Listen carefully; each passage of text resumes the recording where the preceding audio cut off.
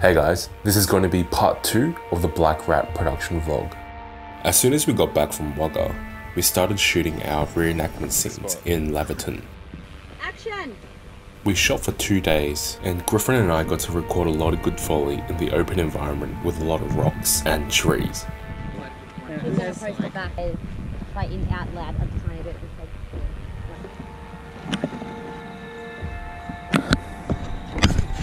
It's worth it, too bad.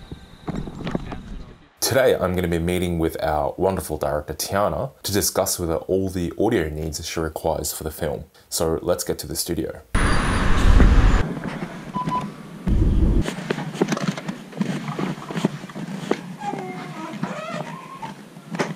So we are here during the spotting session. So let's just watch scene by scene. Yeah. so what I was thinking was start the actual doco with the desert sound. Yeah, So it'll just be like shh, going on, yeah, like similar to how that noise just comes in. yeah. Well, I actually automatically liked that natural noise that was already there. Yeah, yeah, okay, yeah, cool. no, yeah. I agree.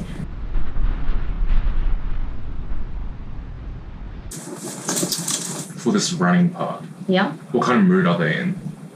Do you want this to sound as if they're approaching like the warfare right now? Yeah. Well, I was thinking like with this sound, I kind of don't want too much sound coming in before the title, so I, I kind of maybe Yeah, like yeah. breathe. I'd rather like breathing heavily, running, um, and I like the fact that you don't really know what's going to happen, why they're running, but I like just the breathing where it's leading up to the story until Yeah, the boom, Yeah, the yeah. title.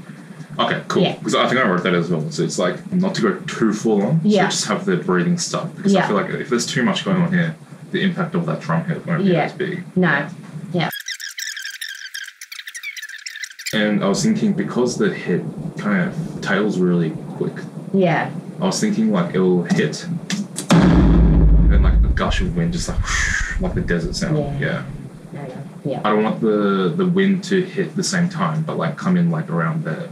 yeah, And like it fills up this space. yeah. Then that sound becomes their The story atmos. now, yeah, and Like, it, it becomes like the background atmosphere for all this stuff. yeah, Tommy Lawrence was my dad. So you can still hear the like the desert stuff now. Yeah. To the rest of Cool. Okay, that's good then. So it's kind of like bringing the story in from the title into the next sequence, Yeah, just yeah, from yeah. the sound. Yeah.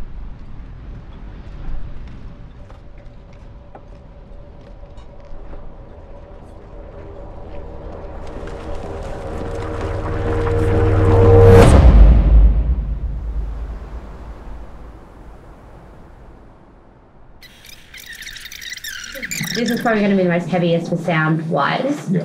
but I picture it just being, yeah. I I don't think we would really want to have like the biggest war going on right now because if that was the case, there wouldn't just be three of them. Yeah. to try yeah, to make yeah. it more realistic, I think would, would be just going with on with guns. Maybe you can hear a bit of yelling. Okay. Yeah.